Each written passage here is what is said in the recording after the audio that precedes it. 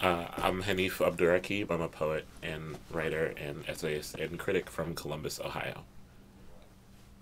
This poem is called For the Dogs Who Barked at Me on Sidewalks in Connecticut. Darlings, if your owners say you are not usually like this, then I must take them at their word.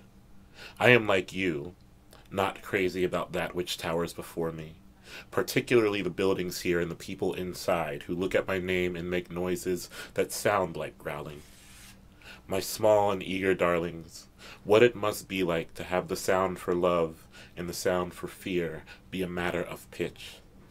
I am afraid to touch anyone who might stay long enough to make leaving an echo.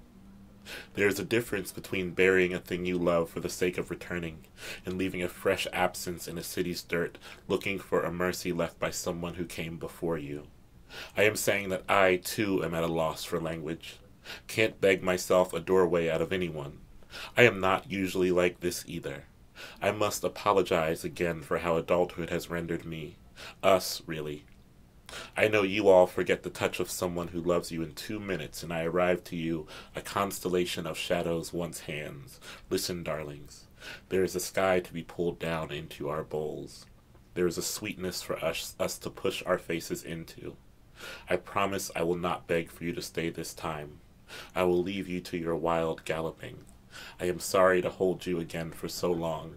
I am in the mood to be forgotten.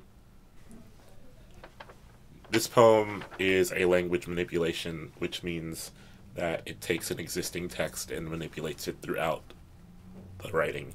Um, this poem takes its title and some of its um, language from the Radiohead song Idioteque. Women and children first, and the children first, and the children are still dying somewhere not here.